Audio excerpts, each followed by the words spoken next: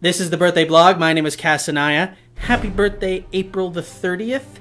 We make art based upon people's birthdays. Round one, born on this day. In the television category, this breakout actress is the cheerleader character in Glee. I don't know why we put her on the list. This is where the dialogue would usually start, but my brother's not here. Fuck it, we're doing it live. This is the current Prime Minister of Canada, elected in 2006. Believe me, the actual picture of him is not that different. So, this is an easy question for Canadians. Uh, I asked it because I wanted to let you Canadians know that we know that you exist. You have a Prime Minister, so therefore you must exist. Let us never speak of you again. And in science, this is Carl Friedrich Gauss, born 1777. He's been called the greatest mathematician since antiquity. His work in number theory gives us this type of graph. What is this type of graph called?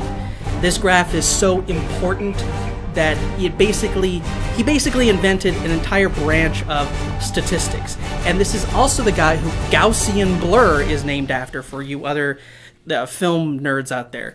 So let's get to the answers. The cheerleader on Glee, who celebrates her birthday on, today on April 30th, is Dianna Argon.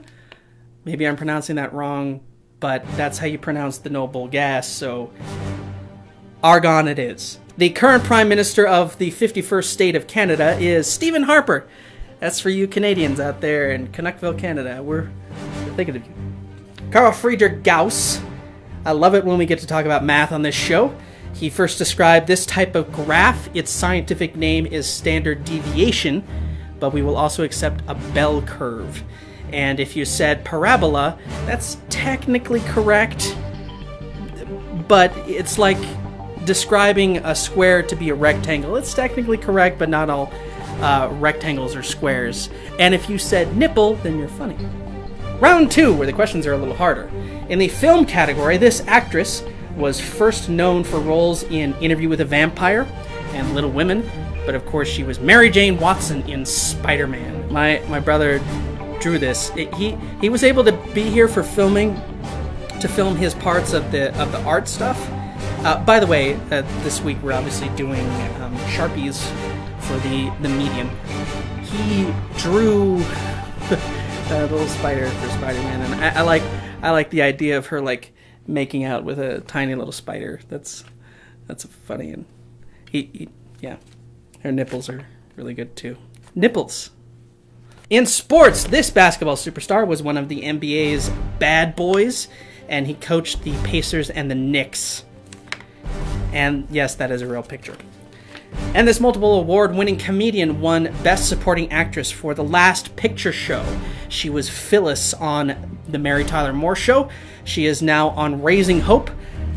Tyler explained to me the story that he knew he he knew her from Malcolm in the Middle, and then he figured out later that she was Frau Blucher in uh, Young Frankenstein. I am Frau Blucher.